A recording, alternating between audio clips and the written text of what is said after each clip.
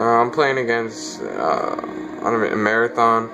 He hasn't even invited me. He hasn't done shit, dude. He, re he reported he won. He reported fucking first. You can go check uh, about what time he disputed in the CMRS match.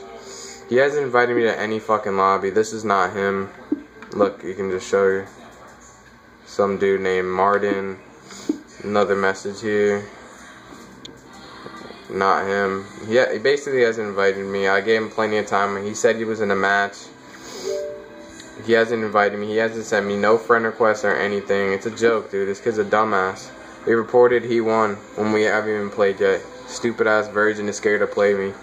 Um, dude, he's not in my recent players, dude. I didn't play him.